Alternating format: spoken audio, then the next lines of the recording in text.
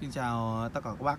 Hôm nay em lại quay trở lại với cái cây ờ, địa lan thanh yên tử trường diệp. Đấy thì em vẫn nói về cái dáng lá của nó là cái dáng lá dáng lá đấy. Huyền diệp có nghĩa là cái lá nó đầy xong võng xuống thì huyền diệp võng xuống. Đấy. là uh, ờ, huyền diệp. Còn đây là bình diệp thì nó ngang ngang. Đấy, ngang ngang ngang ngang nhiều nhưng còn đây là trường diệp thì nó ngang và nó hơi cao lên. Anh chị thấy những cái lá nó rất là dựng đúng không ạ? Thì đấy là nó phân biệt nhau qua những cái lá. Thì hôm nay thì em giới thiệu cho đến tất cả mọi người là cái cây thanh yên tử trường diệp. Là cái cây địa lan à, hoa màu xanh nguồn gốc yên tử. Và lá thì người ta phân biệt qua dạng lá. Thì cái cây à, thanh yên tử ấy, thì nó có ba cây là cây thanh yên tử huyền diệp thanh yên tử bình diệp và thanh yên tử trường diệp. Đấy có nghĩa là ba dáng lá khác nhau. Đấy thì là ba dáng lá thì là ba cây. Thì hôm nay em cũng ờ, giới thiệu cho mọi người sơ qua một cách đơn giản để chúng ta cùng tìm hiểu về cái cây địa lan thanh yên tử trường diệp. Cây địa lan thanh thanh yên tử trường diệp này thì để mà nguồn gốc xuất xứ thì em không tìm hiểu được rõ ngọn, ngọn ngành như nào cả ngọn ngành. Nhưng mà thì do là cũng đam mê nên là cũng chỉ sưu tầm những cái cây này về xong để giới thiệu đến mọi người. Thứ nhất là giới thiệu thứ hai là sau là, là cái em là làm kinh doanh. Thế nên là những cái cây địa lan này thì em vẫn nói rằng là cần có tổng thể thân lá rồi thì hoa. Chứ mọi người đừng mua của những người mà chỉ có thứ nhất là ảnh là không bao giờ là phải ảnh chính chủ thì mình mới mua. Thứ nhất cái thứ hai đó chính là những cái uh, cây là phải được chụp tổng thể thì mình biết được là cái bông hoa đấy nó như thế nào tổng thể hoa làm sao đấy ví dụ như anh chị nhìn những cái một số những cây khác cái hoa làm sao nó nhiều như cây này được cây này là hoa nó nhiều này mà đấy cần hoa của nó thì nó cũng chỉ cao tầm khoảng tầm 60 thôi Đấy cần hoa cao 60 nhưng mà riêng cái cây này là em đếm vừa đếm xong đây là được 17 bông. Đấy thì thường thì nó có những cây nó chỉ được tầm giới hạn từ khoảng 5 đến 10 bông thôi, ví dụ thế. Có những cây thì được ờ, tầm 10 bông trở lên, như cây này nó tầm 15 bông trở lên. Đấy. Thì nó sẽ có theo mức đó thì nó sẽ thì mình mình mới biết được tổng thể là tại sao mà giá trị lại đắt cao, cây nào giá trị cao, cây nào giá trị thấp. Đúng không ạ? Khi mà nó cây nhiều hoa, cần tăm, có nghĩa là cần nó nhỏ đấy như cây cây này thì em sẽ đánh giá cái cần nó hơi to một tí đấy thì là các anh chị về sau sẽ đánh giá là một cây địa là nó, nó cần nhỏ nữa mà đẹp đấy, thì em xin phép là vào luôn thanh yên tử trường diệp uh, giới thiệu mô tả thân lá như này tất cả những cây hoa xanh vàng đều là mầm xanh sạch và không có am tím. Đấy. Có nghĩa là cái mầm hoa của nó ấy nhá, cái mầm hoa hoặc mầm cây ở dưới gốc này là lên lúc nào nó phải xanh sạch, xanh lét, không có một cái ám, tím ám hồng nào cả. Đấy là những cây xanh vàng. Tất cả các loại, ví dụ như cái cây đột biến toàn phần như thế này là là đều là phải mầm xanh sạch. Ví dụ như là cái cây địa lan hay là kiếm hay phi điệp hay các loại khác thì đa phần đến 99% là thân mầm của nó là những cái đột biến toàn phần này là xanh sạch. Đấy. thì uh, tiếp theo là đến cái dáng lá của nó. Dáng lá gọi là cây trường diệp. Cây trường diệp thì nó có lá xòe ngang có lá hơi dựng cao hơn. Anh chị thấy không ạ? Có lá hơi dựng cao hơn. Thì nó phụ thuộc vào những cái yếu tố này ạ. Yếu tố ánh sáng nuôi trồng này. Uh, yếu tố phân bón. Đấy khi mà cái cây này mà mình trồng mà mình uh, cảm thấy thiếu canxi thì mình bổ sung nó thì lá nó cứng chắc được. Ví dụ thế hoặc ánh sáng. Khi mà ánh sáng thiếu mình phải cho nó vào cái vị trí nó nhiều ánh sáng hơn. Ví dụ vậy. Thì uh, em sẽ cái đấy cái đấy thì nó có những cái bài riêng. Còn hôm nay thì em chỉ giới thiệu về cái cây địa lan thay yên tử trường diệp thôi.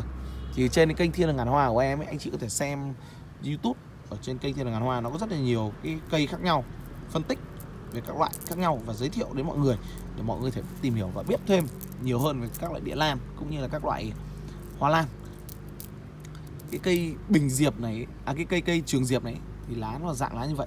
Cây này thì lá nó dài khoảng từ 50 ngắn nhất là 30 và dài nhất là khoảng tầm độ 60 đến 70 cm là tối đa. Và nó, lá dài nó vẫn dựng như này hoặc xẻ ngang, chứ nó không kiểu là lá dài to mà lại võng xuống như là cây huyền diệp. Không phải thế, còn cây huyền diệp thì lá nó to, dài, võng, thì nó là dạng lá võng. Huyền, đấy còn cây này này. Trường diệp thì là dạng lá này. Dù lá nó có dài thì nó vẫn cứng như thế này nó vẫn dựng lên như này chứ không phải là cứ dài là nó nặng thì nó cong ra. Ngày trước là em cũng hay tìm hiểu ờ, em em cũng hay nghĩ như vậy nhưng không phải thế. Nó phụ thuộc vào gen và phụ thuộc vào cách chăm sóc. Nhiều khi là chúng ta phải bổ sung cho nó canxi magie để cho nó nó cứng cứng chắc cái thân lá của nó để cho cây nó khỏe. Nhưng đây là một cái cái dạng và nó thuộc gen là nhiều. Đấy, đương nhiên là chúng ta vẫn phải bổ sung thường xuyên tiếp theo là em nói đến cái phần hoa của nó. Hoa của nó cây này là cây xuân lan. Xuân lan là có thể là có những năm nó sẽ nở vào tết. Ví dụ như có thể là nhận tháng này hoặc là do thời tiết nắng nhiều này thì nó sẽ nở vào tết. Đúng tết còn không thì nó sẽ ra ra riêng khoảng vài hôm. Ra riêng khoảng tầm độ uh, mùng 5 mùng 10 tháng riêng ấy thì ờ, tỷ lệ nở là cao hơn. Nhưng còn đây thì là ờ, hiện giờ đây thì đang là nở vào dịp cuối tháng riêng rồi.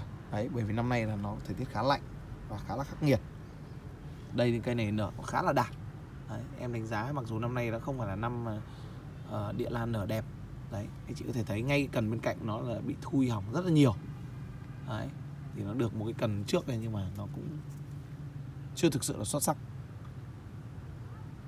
Thì uh, em sẽ nói về cái bông hoa của nó. Bông hoa của nó thì là dạng hoa màu xanh lưỡi vàng.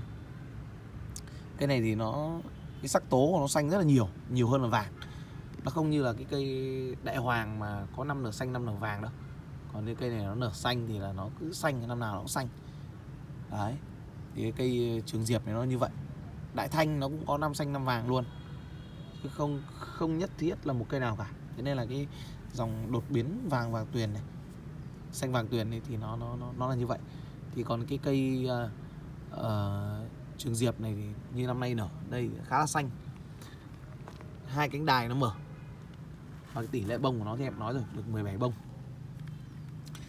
Tay tay hoa quấn cần thăng hoa ôm cần. Đấy. Cây có hương thơm và uh, đài mở rất là đẹp cân đối. Cây này ví dụ như cây này thì em sẽ nói là cần hơi to bởi sao cánh hoa nó nhỏ mà cần hơi to? Có nghĩa là cần nó bị hơi thô. Còn nếu như nếu như với cái tỷ lệ tỷ lệ này mà hoa nó cần cần nó to này, cánh bông sai hoa nó to hơn một chút thì nó sẽ đẹp hơn. Những cây này là cần hoa nó hơi to so với cái khẩu bông khẩu bông. Thì khẩu bông này nó được khoảng tầm độ 5 cm khoảng 5 cm đến tối đa là 6 cm thì có những bông trên nó chỉ được 4 4 cm thôi. Em sẽ quay ra cái bông sau để các anh chị cùng ngắm xem nó như nào. Đấy, thì cái bông của nó thường thì một, hai cái bông đầu tiên thì nó rất là đẹp. Nó sẽ đẹp nhất là ở năm bông đầu tiên địa lan nó như vậy. Năm bông đầu tiên sẽ là năm bông đẹp nhất. Còn những cái bông uh, sau thì nó sẽ không đẹp bằng. Thế nên là em chỉ quay video chủ yếu là vào cây nó ít bông. Trừ một số cây. Khi mà không thời gian quay kịp thì phải quay ít bông này. chứ còn em năm bông đầu tiên sẽ là năm bông đẹp nhất. Xong về sau ấy, thì càng lên trên đỉnh ấy, thì cái vai vai hoa của nó càng ngang. Vai hoa của nó cái cây cây thứ hai bông thứ hai này nó chưa chưa ngay ngắn hẳn thì em quay về bông thứ nhất này em nói về cái vai hoa của nó. Cái vai hoa của nó cái vai nghĩa là hai cái cánh này hai cánh ngoài này. Khi mà nó vách lên thì gọi là vai ngang. Đây ví dụ như này. Đấy, nó vách lên như này thì gọi là vai ngang. Đấy. Như này thì gọi là ngang. Vách lên đại loại là vách lên nó như nó vách tự nhiên rồi có nghĩa là nó ngang tắp như này này. Ngang tắp như này thì gọi vai ngang. Đấy còn như cái này thì vai gọi là uh, thế này là vai thế này cũng rất là đẹp rồi. Có nhiều cây vai xuôi là nó có nghĩa là cái cần hoa cánh cánh của nó xuôi chéo hẳn xuống này luôn. Đấy, thì đấy gọi là vai xuôi. Thì nó có một số những cái cây khác. Thì em cũng nói là cái nào vai xuôi cái nào vai ngang cái nào các thứ này cũng đều nói chi tiết tất cả. Như cây này thì nó cũng là một cây rất là đẹp rồi. Đấy, cân đối từ tổng thể thân lá tỷ lệ hoa.